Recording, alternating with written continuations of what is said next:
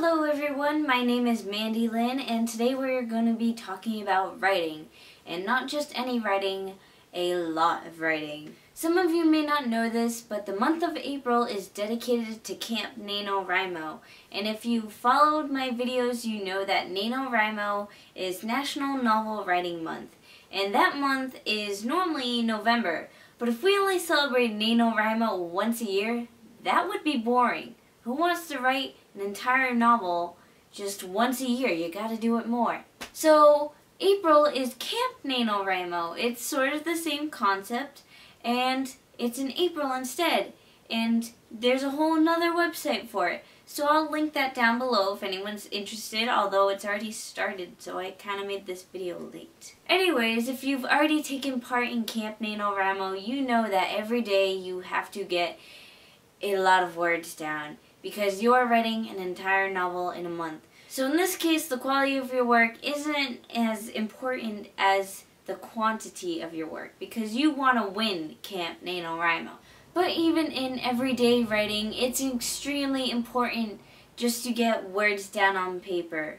Now, I don't mean that you need to write every single day. A lot of people seem to think you do, and even I personally used to think that I needed to, but it's just not possible. I am a junior in high school and I have a job that I work almost every day of the week. Going home and writing is not my first concern. My first concern is food, shower, and then managing my website, replying to comments on videos, and doing all that sort of fun stuff that comes with being a self-published author because I have to create my own following. But when you do write, the important thing is not to get the word writer's block stuck in your mind because once you think you have writer's block, you're just digging yourself into a really deep hole. So what you need to do is that you need to sit down and just get words down on paper. Just let everything from your head flow through your fingers onto that keyboard and onto the screen. Don't let yourself care about what you're writing. Don't let yourself care about whether or not it's going to be good or not. And don't even think about what other people are going to think when they read it. Because that's not important. The first step in writing is getting something down on paper. The second step is rewriting. And then the third step is editing. And of course, you can rewrite things multiple times and you can edit things multiple times. But you only write something, I guess you could say, organically the first time. That is what your first draft is, and that's what NaNoWriMo is all about. It's about your first draft. NaNoWriMo doesn't care how amazing your book is, or if it's the great American novel, or anything like that.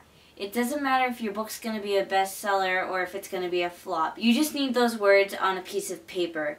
Then after NaNoWriMo is over, or after you've finished any draft that you've written, you go back and you rewrite you see what your flaws are, you fix scenes, you add things, you take away things, you find out what's important, and then you adjust it from there. Then, and only then, you can start to worry about, you know, other things. So I'm curious though, are any of you participating in Camp NaNoWriMo? I know my schedule is too busy, and I'm publishing a book right now, so I obviously can't write a book. But what are you guys up to? Are you writing anything? Or are you editing, rewriting? Comment below and tell me. And of course, don't forget to share this video and give it a thumbs up. Time supposedly heals for some reason thinking that will help. How can you know that one to think about it first want to?